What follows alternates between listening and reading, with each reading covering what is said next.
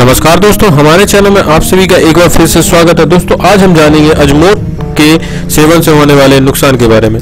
दोस्तों अजमोद का बीज यदि चबाने, भर के लिए इस्तेमाल किया जाए तो यह पूरी तरह सुरक्षित। अजमोद के तेल को ज़्यादातर लोग मुँह या त्वचा की समस्याओं में, दवा के रूप में इस्तेमाल करते हैं, लेकिन अधिक सेवन से यह त्वचा में सूजन उत्पन्न कर सकता है।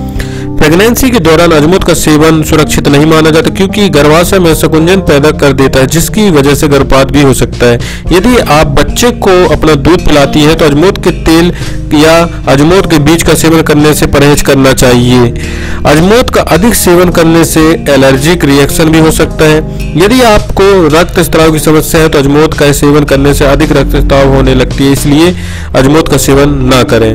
अगर आपको किडनी में समस्या है तो अजमोद का सेवन न करें, अन्यथा इससे सूजन बढ़ सकती है। ब्लड प्रेशर को कम करने में अजमोद का दवा के रूप में इस्तेमाल किया जाता है। लेकिन यदि आपका ब्लड प्रेशर पहले से ही कम है तो अजमोद का सेवन न करें, अन्यथा ब्लड प्रेशर को ज़्यादा घाटा हो सकता है। तो उम्मीद है दोस्तों, हमारे द्वारा दी गई जानकारी आप सभी को पसंद आई होगी। अगर यह वीडियो आप फेसबुक पर देख रहे हैं तो हमारे फेसबुक पेज को लाइक करें। और अगर यह वीडियो आप यूट्यूब पर देख रहे हैं तो हमारे यूट्यूब चैनल को सब्सक्राइब करें। धन्यवाद।